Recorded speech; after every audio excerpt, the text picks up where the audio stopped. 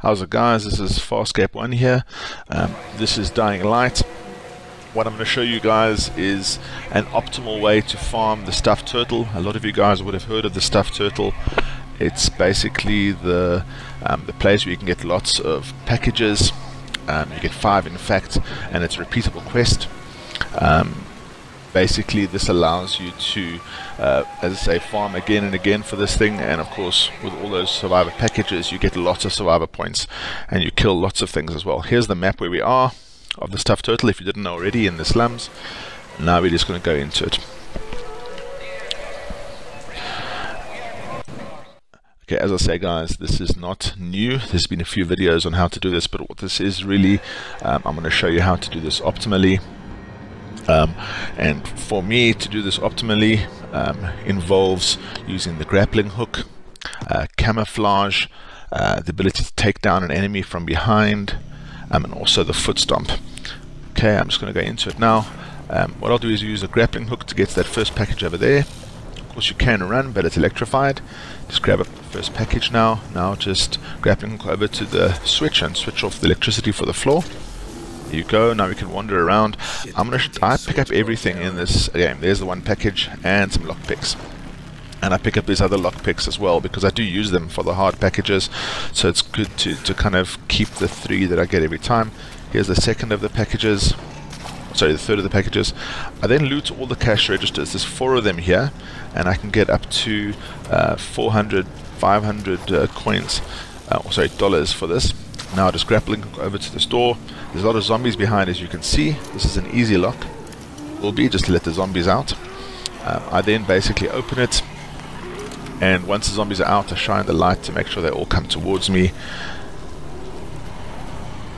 and then I climb on top of the, the shelves here. Now I crouch here and because I've got the foot stomp it says left button to finish I literally just wait for them to come to me and I stomp on their heads again and again and again. There you go. And even these guys, which is quite nice.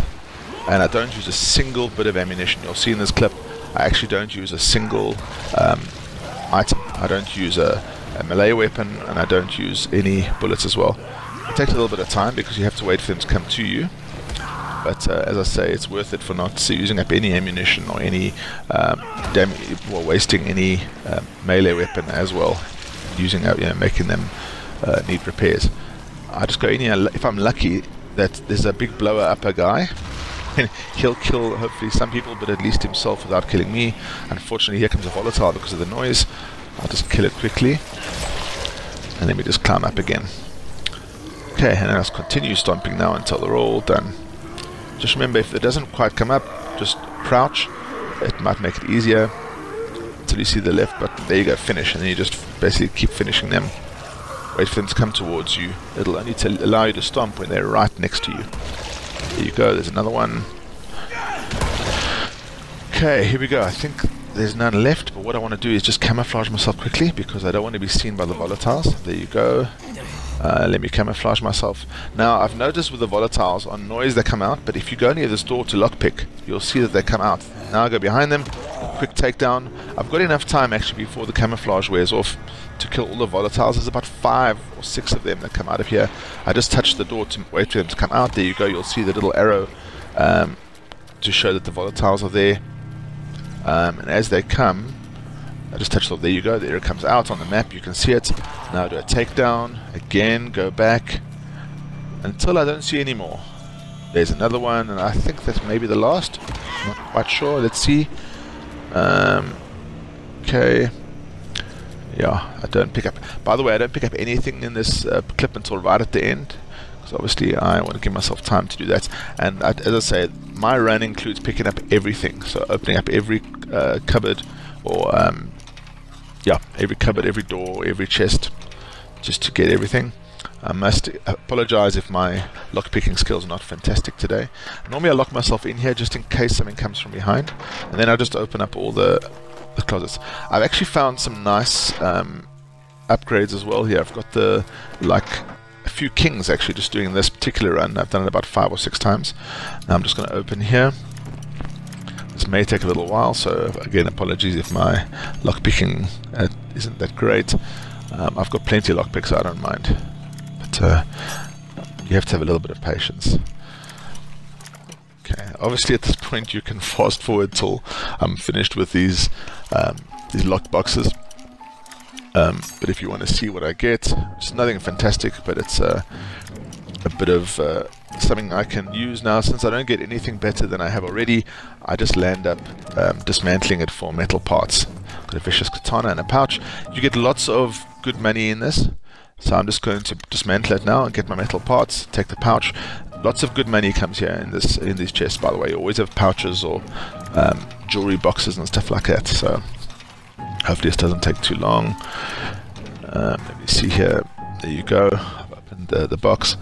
Um, let's just see what's in here. Again, it's something that I've got already. Kukuri, I think, was a machete. Um, I'm going to dismantle it again because I really don't need it. Um, cool. Let's take the, the pouch as well. It's got lots of nice cash in there. Okay, now let's get the last of the two um, survivor packages. Or relief packages, sorry. Um, just have to go into that door where the, where the, the bomber was. Cool, let's just search out. Sometimes get a lockpick in there. Almost always, in fact, nothing else in the door. Now just come over here and there's a zombie comes out on the floor. Quickly stomp his head, or her head. And then I unlock everything. So here's another locked cabinet.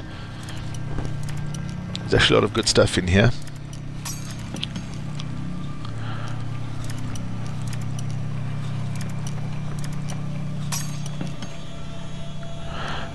I think, if I remember correctly, yep.